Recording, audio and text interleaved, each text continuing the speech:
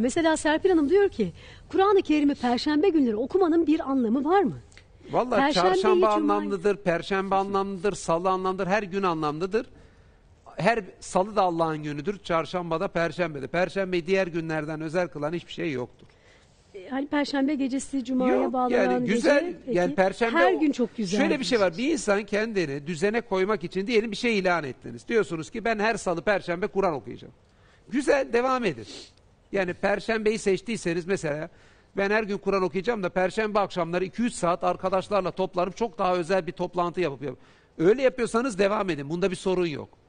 Ama perşembe cumaya bağlıyor diye onu özel kılan bir şey yok. Yani Kur'an-ı Kerim'de böyle bir şey. Kur'an-ı Kerim az önce o Türkçesini e, ezberledim diyen Hı hı. kardeşimiz için, izleyicimiz için bir şey söyleyeyim. Şimdi bakın Kur'an-ı Kerim'de Kur'an'ın Arapça indirildiği ayetlerde ifade edilir ama Arapça indirilmesinin sebebinin o toplumun Arapça konuşan bir toplum olması sebebiyle anlaşılmak olması için e, Arapça indirildiği söylenir. Başka bir Ama- dilde konuşuyor olsaydı. Tabii ki ama bakın şimdi Kur'an-ı Kerim'de kavim olarak Araplara hiç vurgu yapmaz. Arap ifadesiyle e, çöl bedevilerine vurgu yapar ve eleştirir. Çöl bedevileri içerisinden münafıklar olduğunu söyler. Yani peygamberimizin mesela Arap ırkında olduğu ile ilgili hiçbir şey yoktur Kur'an-ı Kerim'de. Yani şu anlamda yoktur. Bunu öne çıkarmaz Kur'an-ı Yani Kerim. insanlığa hitap eder Kesinlikle. aslında. Çünkü Sadece peygamberimiz değil. peygamberimiz tüm insanlığa e, gelmiş bir peygamberdir.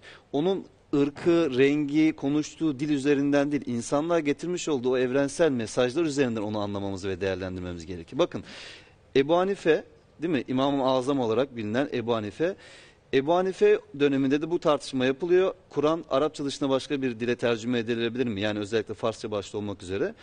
Ve Ebu Hanife diyor ki Kur'an'ın Arapça dışında bir dile tercüme edilmeyeceğini iddia etmek diyor.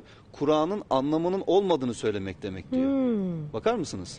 Kadı Abdülcabbar'a bakıyoruz aynı şeyi söylüyor. Kur'an başka dile tercüme edilmez demek. Kur'an'da bir anlam yoktur. Allah bir Sadece bu anlasın diye getirdi. göndermemiştir demek diyor. Yani tercüme edilir Kesinlikle. ve herkesin anlayacağı hale daha fazla getirilir. Edilmesi gerekir. Anlaşılmadan okumanın da belki kendi içerisinde bir sevabı olabilir. Çünkü Kur'an'la bir şekilde ilişki içerisindesinizdir. Onu Allah bilir. Ama önemli olan Kur'an'ın indiriş sebebine göre yani anlayarak okumak, düşünmektir. Bir de şunu şunu da, da bir şey belirtmek istiyorum da, söyleyeyim. da yani peygamberimizin döneminde mesela Yahudiler, Hristiyanlar vardı. Arap Yahudiler, Hristiyanlar peygamberimizin yanında.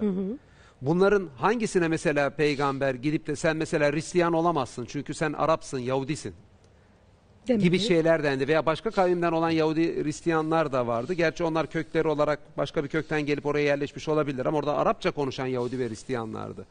E buradan da şunu görüyoruz. Yani e, Allah'ın gönderdiği dinler başta bir kavim için gelmiş olabilir. Fakat bu mesajlar evrensel e, içerikler içerirler. Allah'ın varlığını, ahireti tanıtması gibi. Zamanı Artı, yok. evrensel Kişisi içeriklerin dışında Bir dönem o ümmete ait, o kitabın yok. Anladığım. içinde Peki. belli ibadetleri içerirler.